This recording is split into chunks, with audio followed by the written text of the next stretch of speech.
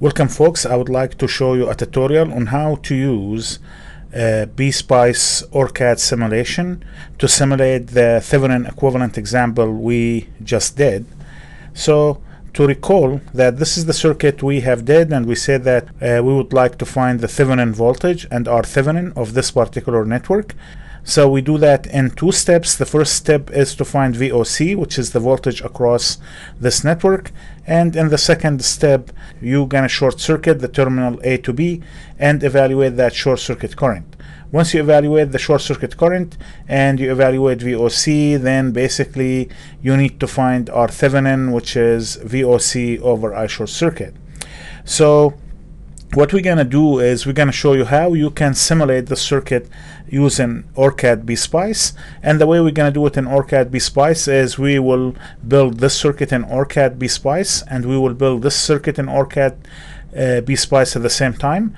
And then we will be able to measure VOC and I short circuit and from here we will be able to find R Thevenin. So let me show you how to do that. Now keep in mind that this particular circuit is basically pure DC or pure resistive circuit. So this is a resistive pure DC circuit. So we're going to build that in OrCAD. So the first thing I'm going to do is I'm going to basically load my uh, CIS capture uh, and by doing that and then I'm gonna come in and I'm gonna create a new project so we're going to create a new project and I'm going to call it Thevenin example. And make sure that you have selected or you will select the B Spice analog mixed AD don't select the schematics. Schematics will not do simulation. You need to do PSpice simulation. So select that option.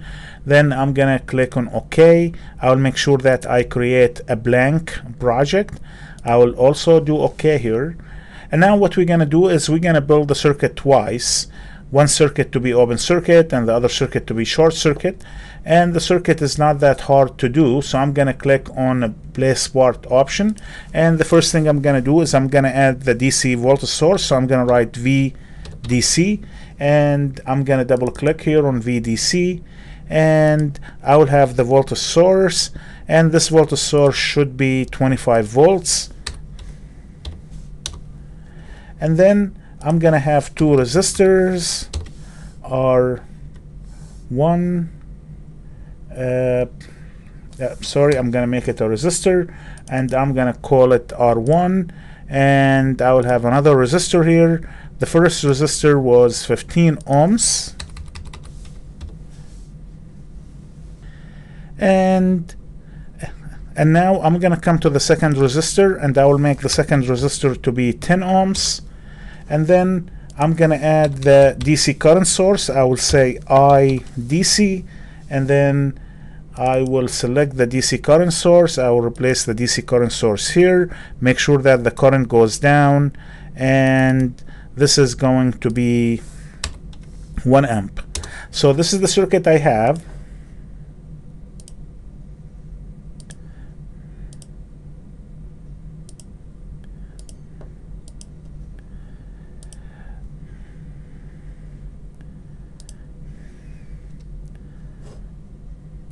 so I'm gonna connect the line here we'll go to here and another line will come here.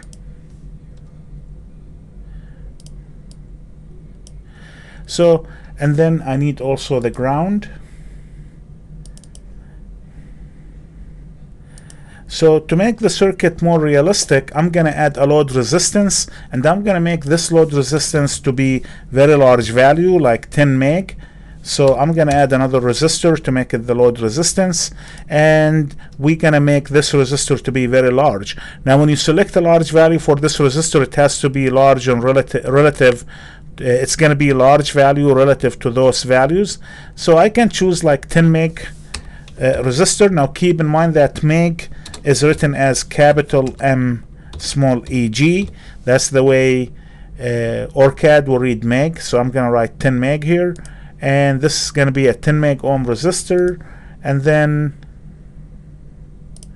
I'm going to connect the rest over here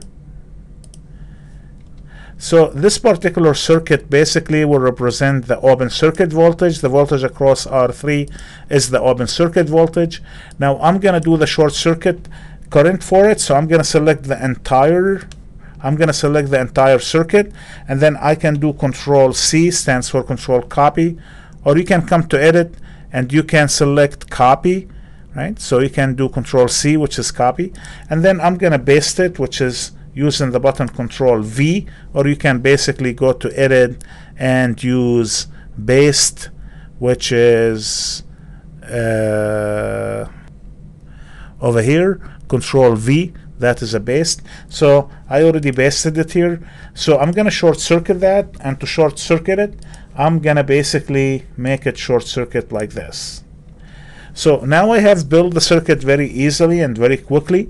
I'm gonna create a simulation. So I'm gonna call it sim1 that stands for simulation 1 I'm gonna create the simulation and I should have a window pops up over here. So it's going to be a general setting. I'm going to do it in the time domain but a small short time will do because this DC circuit is not going to change as a function of time. It's going to be basically constant circuit as a function of time. I'm going to basically say apply and then I'm going to measure the voltage across this resistor. So I'm going to use the probe and add a voltage across this resistor. That's basically the open circuit voltage. And then I'm going to measure the current at this resistor that's basically the short circuit current that's going through the short circuit. So and then once I do that I will be able to divide this voltage to this current to give me the uh, uh, uh, the value of the resistance.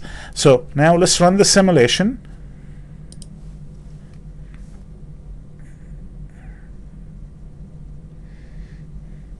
So we're running the simulation shouldn't take long for the simulation to run. Here you go.